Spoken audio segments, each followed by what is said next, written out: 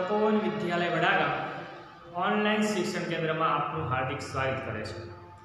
આજે આપણે ધોરણ નવ, વિષય ગુજરાતી, પાઠ નંબર છ, લોહીની સગાઈ વિશે અભ્યાસ કરીશું. આગળ ભણી ચૂક્યા તેમ ઈશ્વર પેટલીકરે એક માતૃ હૃદયના ભાવો અહીં અભિવ્યક્ત કર્યા છે. જે પોતાના ચાર સંતાનોમાં એક ગાંડી મંગુને કેવી સાર સંભાળ રાખે છે.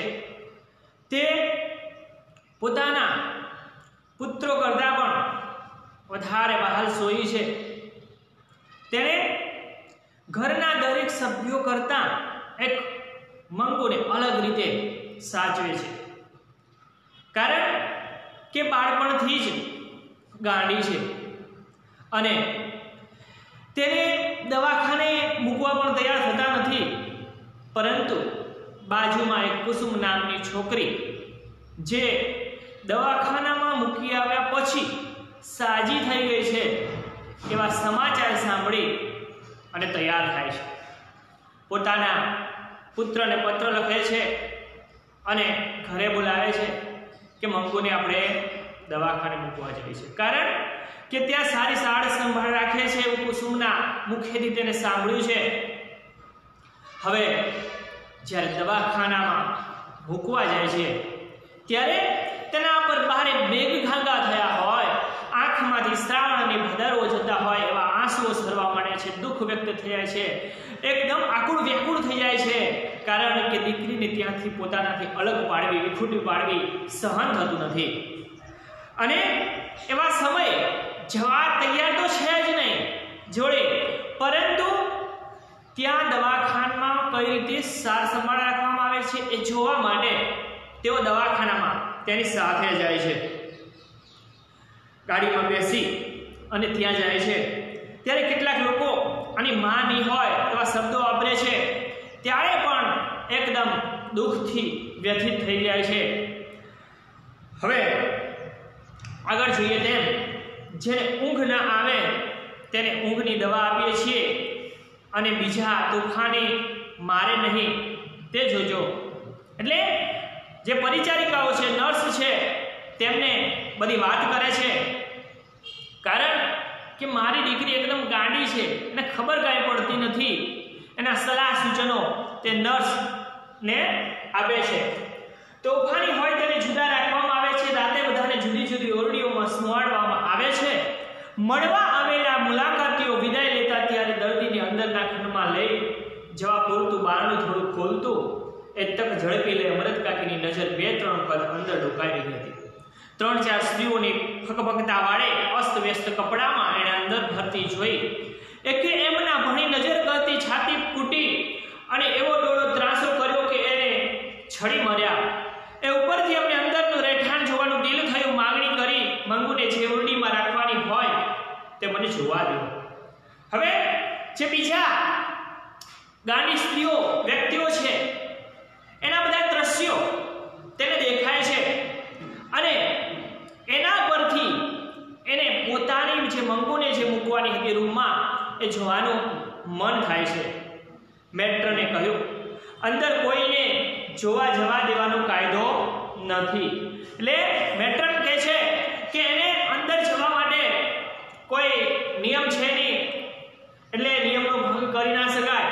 કારણ કે જે બધા લોકોને અંદર જવા દેતા નથી. ચકડવકડ આંખે આ નવી દુનિયા જોઈ રહેલી મંગુ અમૃત કાકીની સોળમાં લપાઈ, માથે હાથ મૂકી અમૃત કાકી રોજનો વહાલ સોયો બેટા શબ્દ ઉચ્ચારવા ગયા.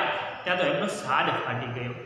હવે અમૃત કાકી જ્યારે મંગુને મૂકવા જાય છે, ત્યારે તેના માથા પર હાથ મૂકે છે અને રોજની જે શબ્દ બોલાતો હતો બેટા એ શબ્દ ઉચ્ચારવા ગયા આ તો એનો સાદ પડી ગયો એકદમ દુઃખ વ્યક્ત થઈ ગયું. મરણ રોગ જેવી લાંબી પોક મુકાઈ ગઈ. જેમ મૃત્યુ સમયે મુકાતી પોક મૃત્યુ પામેલા નજીકના સગાની જેમ પોક મૂકી જ્યારે કોઈકનું મૃત્યુ થાય. ત્યારે પોતાના નજીકના સંબંધીઓ એક મરણ પોક મૂકે એવી રીતે ચીસો પાડીને મોટેથી રડવા લાગ્યા. આખું દવાખાનું એ આક્રંદમાં ડૂબી ગયું. આક્રંદ એટલે રુદન. જે રુદન કરવા લાગ્યા, એનાથી આખા દવાખાનામાં જ રહેલા વ્યક્તિઓ જોઈ રહ્યા. દીકરાની આંખમાંથી ચોધાર આંસુ વહી ચાલ્યા. આવા રુદનથી ટેવાઈ ગયેલા ડાક્ટર, મેટ્રોન અને પરિચારિકો હૈયા પણ ભરાઈ આવ્યા. દિવાલો પણ ધ્રુજી ઉઠી કે આટલું લાગણી ભર્યું કોઈ ગાંડાનું સ્વજન આજ સુધી આવ્યું અમે જાણ્યો નથી. જો દવાખાનામાં તો રોજનો એક કાર્યક્રમ પ્રકારનો હતો કારણ કે કેટલાય લોકો આવતા હોય જતા હોય કેટલાકને દુઃખ પણ થતું હોય, કારણ કે બધા પાગલ ગાંડા છોકરાઓને મોટા વ્યક્તિઓને મૂકવા આવતા હોય. પરંતુ આ કંઈક અલગ જ પ્રકારનું હતું. તેનો ભાઈ, જે અમૃત કાકીનો દીકરો છે, તે પણ આખું આંસુ લૂછવા લાગે છે, એ પણ રુદન કરવા લાગ્યો છે, પણ મહાકાય રુદન હતું તો એ અમૃત કાકીનું હતું. કારણ કે એટલા બધા આઘાતમાં ડૂબી ગયા હતા, એટલું બધું રુદન કરવા લાગ્યા, જ્યારે મૃત્યુ કોઈ પામ્યું હોય, એટલું બધું રુદન. જે ડોક્ટર હતા એ પણ કહેવા લાગ્યા કે આજ સુધી જે ગાંડાના સ્વજનો આવતા હોય, તો આવું સ્વજન ક્યારે આવ્યું નથી? એક પરિચારિકા હાથમાંનો રૂમાલ ફરકાવતી મંગુને પોતાના તરફ ધ્યાન ખેંચી બોલી, લે, જોઈએ છે તારે? એ રૂમાલ પકડવા માની સોળ ત્યાજી મંગુ એકદમ ઊભી થઈ. થોડો રૂમાલ પકડવા દીધા પછી એનો હાથ પંપાડી પરિચારિકા મીઠાસ ભર્યા શબ્દો બોલી, તું મારી પાસે રહીશ ને બેન? હું તને સારું સારું ખાવાનું આપીશ, નવા કપડાં પહેરાવીશ. મંગુ એના મોં સામે તાકી રહી હતી, એટલે ક્ષણનો ઉપયોગ કરી લેતા ચાલ આપણું કહીને એનો હાથ પકડી આગળ ચાલી.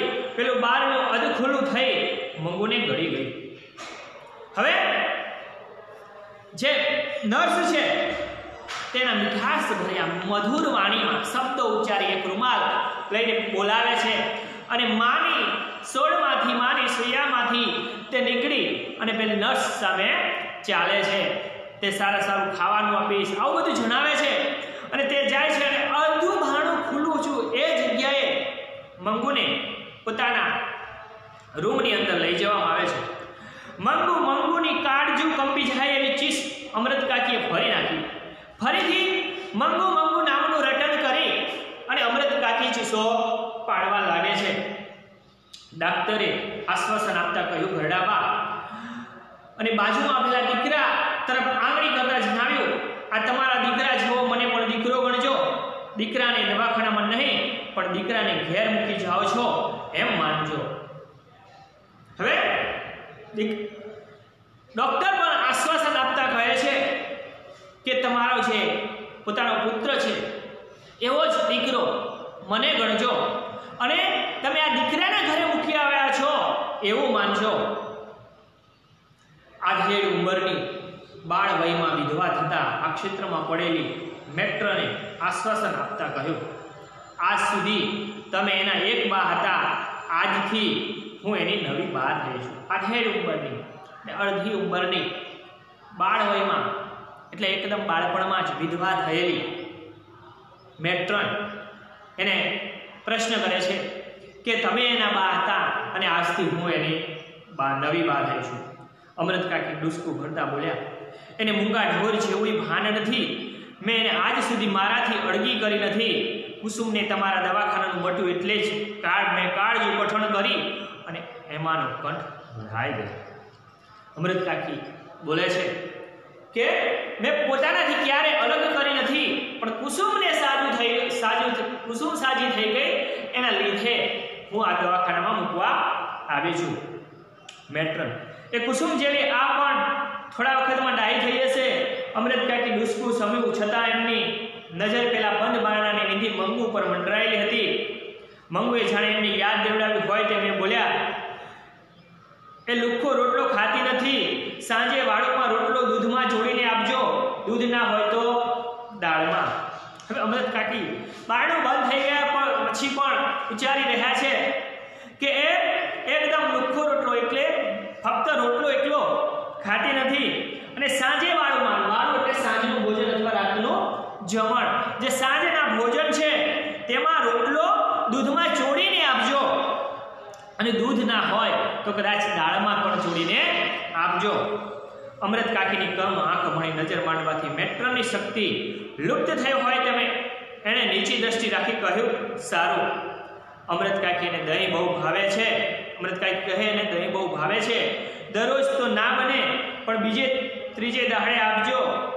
એવું વધારાનું જે ખર્ચ થશે તે અમને આપીશું, જે એની ચાકરી કરતો હશે, એને પણ રાજી કરીશું. હવે અમૃત કાકી કહે છે કે એને દહીં બહુ ભાવે છે.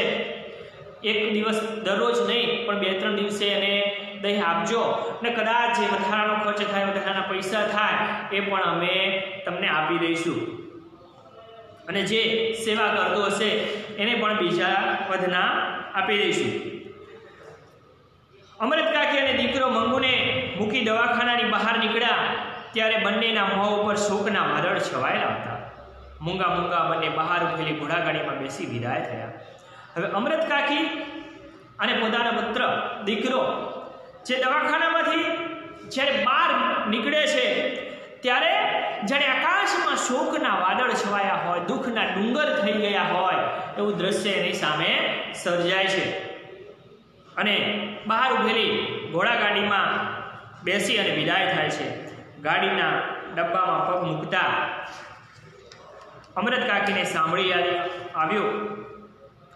દવાખાનામાં સુવા ખાટલો આપતા હશે કે નહીં? મંગુ નીચે સૂઈ રહેલી નથી. એટલે જો ખાટલો નહીં હોય, તો એને નહીં ફાવે. મનમાં થયું કે જો પોતાને અંદર જોવા જવા દીધી હોત, તો આ ભાળવાણ કરવાનું રહી ન જાત. ઓરડીમાં ખાટલો ન જુઓત એટલે તરત જ સાંભળી આવત. હવે અમરત કાકીને પાછો, જે ગાડીમાં ના ડબ્બામાં બેસે છે, ત્યારે પણ પ્રશ્ન થાય છે કે જ્યારે અંદર કદાચ ગયો હોત તો ખબર પડત કે અંદર ખાટલો સુવા છે કે નીચે પથારીમાં. કારણ કે મંગુને ખાટલા વગર ફાવતો નથી. અને કદાચ અંદર જવા દીધી હોત તો ભાડાની એટલે ભલામણ કરી આવત, સોંપણી કરી આવત, પણ ભલામણ કરવાનું રહી ગયું. દવાખાનામાં કામ કરનાર માયાળું છે, ભલા છે, એવી ખાતરી અમૃત કાકીને થઈ હતી, પરંતુ એમને અંદર જવા ન દીધા એટલે વસવસો રહી ગયો હતો. એટલે અફસોસ રહી ગયો. કારણ કે બધું જ સારું છે, માયાળું છે, લોકો સારા છે, સારા નર્સ સારા નર્સો પણ સારી છે, ડૉક્ટર પણ સારા છે, પરંતુ એના રૂમની અંદર જવા ના દીધા એ રહી ગયું. મનમાં અફસોસ રહી ગયો, વસવાસો રહી ગયો. આપણે નહીં ગમે તેવું હશે, ત્યારે જ અંદર નહીં દીધા હોય, નહીં જવા દીધા હોય એવો પ્રશ્ન પણ થયો. તે માટે જ એમને કાયદો કર્યો હશે ને. એનો ટેકો આપતું હતું પેલું અધખોલું બારણું ભૂતની માફક, ભમતી ગંદી જથર વથર અને ભૂખે મરી ગઈ હોય તેવી બિહામણી ગાંડી સ્ત્રીઓ એ સાથે અમૃત કાકીને મંગુ પોતાને ન જોડવા જોવાથી રડતી હોય તેવો સાદ સાંભળો એમની આંખોમાંથી આંસુ ચાલ્યા બાજુમાં બેઠેલી સ્ત્રીએ પૂછપરછ કરી, કેમ બા રડો છો? કોઈનું મહેણું થયું છે? હવે જ્યારે ગાડીમાં બેસે બેસે છે ત્યારે એને જે મનમાં પ્રશ્ન ખડા થાય છે કે અંદર કદાચ જવા ના દીધા હોય, રૂમની અંદર તો કંઈક હશે. અને કદાચ કંઈ સારું નહીં હોય એટલા માટે એટલે કાયદો કર્યો છે. અથવા એને પેલું અધ ખુલ્લું છે અડધું ખુલ્લું બારણું હતું એટલેથી જ અંદર જવા દીધી. એ એને ટેકો આપતું હોય. અને બીજું કે જે ગાંડી સ્ત્રીઓ, જે જથર વથર કપડામાં ફરતી હતી, એ જોઈ હતી, જાણે ભૂખે મરી ગઈ હોય, એવી લાગતી હતી. અને આ બધાથી અમરત કાકીને મંગુ ન જોવાથી રડતી હોય તેવો સાદ પણ સંભળાય છે અને એની આંખોમાંથી આંસુઓ વહેવા લાગે છે. પરંતુ એ રેલવેના ડબ્બામાં બાજુમાં બેસેલી સ્ત્રીઓ પૂછે છે કોઈક મૈણું થયું છે? એટલે કોઈકનું મૃત્યુ થયું છે. રાત્રે પોણા અગિયાર વાગે ઘેર આવ્યા ત્યારે એમની વાટ જોતી પાડોશણ જે એમના પિતરાઈ થતી હતી, તે જાગતી હતી. એમને માટે એણે રસોઈ કરી રાખી હતી, પરંતુ બંને જણે વાળું કરવાની ના પાડી દીધી. સ્વજનના મરણના ઘા તાજો હોય, ત્યારે જેમ આગ્રહ કરનારની જીભ ન ઉપડે, તેમ પાડોશણ ખેંચતાણ ન કરી શકી. હવે પોતે પોતે ઘરે જાય છે, ત્યારે તેને સાંજનું ભોજન બાજુને પડોશીએ તૈયાર કરી રાખ્યું હતું. પરંતુ એકવાર કહે છે, પણ ફરીવાર કરી શકતી નથી, કારણ કે જેવી રીતે કોઈકનું મૃત્યુ થયું હોય અને તેને ખાવાની આજીજી ના કરી શકાય, કરી શકે એવી રીતે તે પણ કહી શકતી નથી. અમૃત કાકીના અંતરમાં એક જ તંબુરો વાગી રહ્યો હતો. મંગુ અત્યારે શું કરતી હશે? પડે પડે એ વિચાર એમના હૈયામાં વિધી રહ્યો હતો. કેટલી ઠંડી છે, એને ઓઢાડ્યું હશે, પેશાબ કરી પલાળ્યું હશે તો એ ઘાઘરી કે પાથરણું બદલ્યા હશે. આવા અનેક પ્રશ્નો એના મનમાં ઉદ્ભવતા હતા. જાણે મંગુ એમનો બોલ સંભળાવતી હોય તેમ બબડ્યા. બેટા, પેશાબ ન કરતી. ઓઢાડેલું કાઢી નાખ, કાઢી ન નાખતી. આ શબ્દો સૂતી વખતે કાયમ ઉચ્ચારતા. છતાં મંગુ એનો અમલ કરતી નહીં. રાતે એને પેશાબ કર્યો હોય અને ઘાઘરી અને પથારીને બદલી નાખતા. મંગુ મોટી થઈ ગઈ છતાં પોતાના ભેગી તેને સુવાડતા જેથી જે પેશાબ કરે તો તેમને તરત જ ખબર પડે, જાગી જાય અને ભીનામાં સૂઈ રહેવું ન પડે. અમૃત કાકી પોતાને પણ એના વગર પથારી સૂની સૂની લાગતી હતી.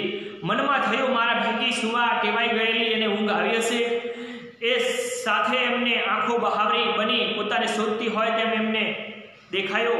એમણે ઈસ ઉપર કપાળ કૂટ્યું. હું માં થઈને એને દવાખાને હડસેલીને આવતી રહી. એનાથી ભૂસકું ભરાઈ ગયું. અમૃત કાકીનામાં અનેક વિચારો આવવા લાગ્યા. જે દરરોજની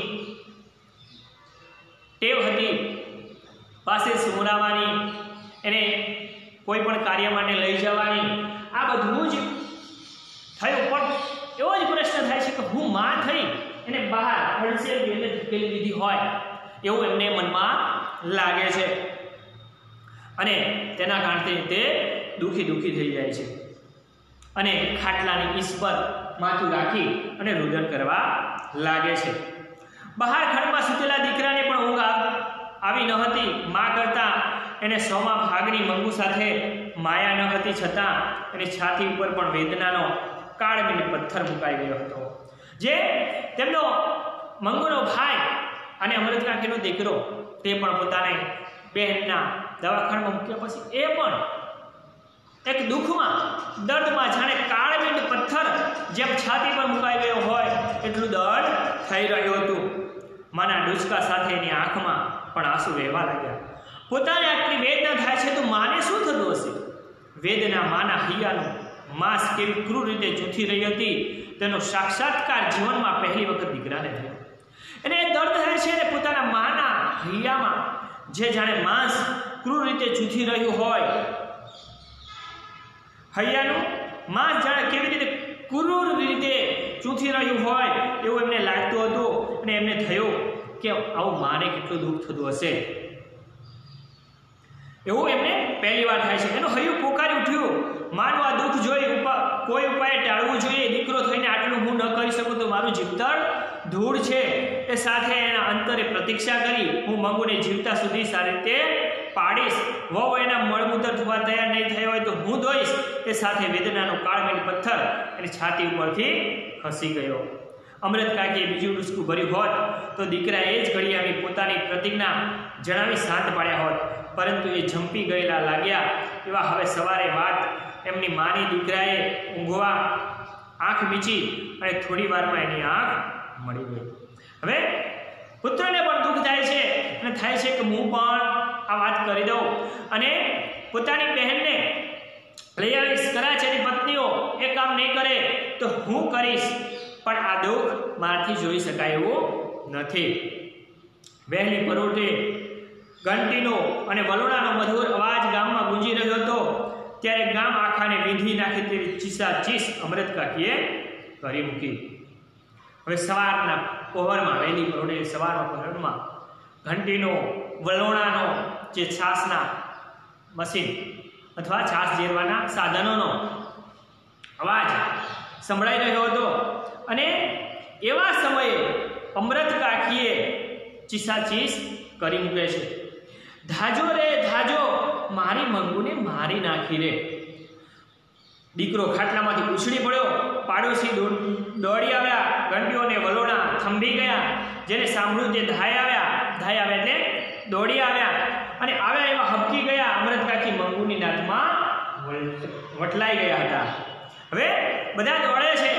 ધાઈ આવો એટલે દોડી આવવું ધાય આવે એટલે દોડી આવે. એટલે બધા જ આજુબાજુના લોકો, પડોશીઓ, ગામના, એ બધા જ દોડી આવે છે. અને ચીસાચીસ કરી મૂકે છે કે મારી મંગુને મારી નાખી છે. અમૃત કાકી મંગુની નાતમાં વટલાઈ જાઓ. મંગુની નાતમાં વટલાઈ જવું એટલે જે જે રીતે મંગુ હતી, એ રીતે જ અમૃત કાકી ના દુઃખથી ગાંડા થઈ જાય છે. હવે, જે બોર્ડ ઉપર નોંધેલું છે પણ તમારે નોંધવાનું રહેશે અને સ્વાધ્યાય લખવાનો રહેશે.